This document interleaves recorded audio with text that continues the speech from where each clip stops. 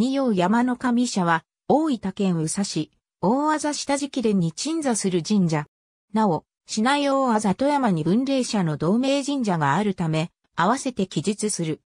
大名持の命と玉頼姫命とお祭り、後に別来神を加え、さらに、明治と大正年間に合祀された村内少子の天の穂日の命、菅原神、恵比寿命、王神天皇、神宮皇后、竹内大臣、ス徳天皇、宇下の御霊の命、小結の命を合わせ祭る。和道三年の宗師という。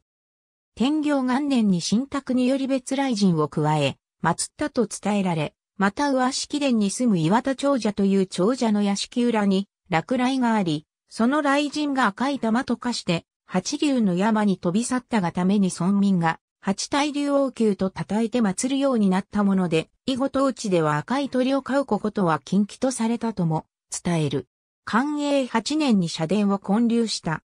明治5年に孫社に列し、同44年9月10日に大技、南式伝寺、飛騨の天の穂日の命と菅原神を祀る神社を、大正2年4月20日に大技中敷伝寺ルー王の王神天皇、神宮皇后、竹内大臣を祀る八幡宮と、大技上式伝寺金剛寺のストク天皇を祀る、コンピラックを合祀した。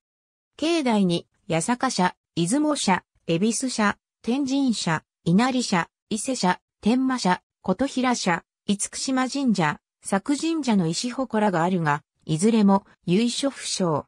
その他、行幸所境内に、祇園社、秋葉社、琴平社の石祠があるが、これも由緒不詳。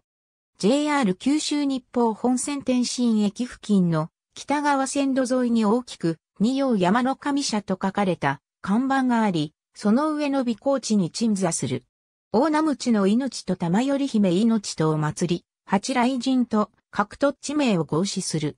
天保10年9月20日に、大字下敷殿の二葉山の神社から誕生された。大正2年9月17日に、寺、飛長の八雷神と各土地名を祀る神社を合祀している。ありがとうございます。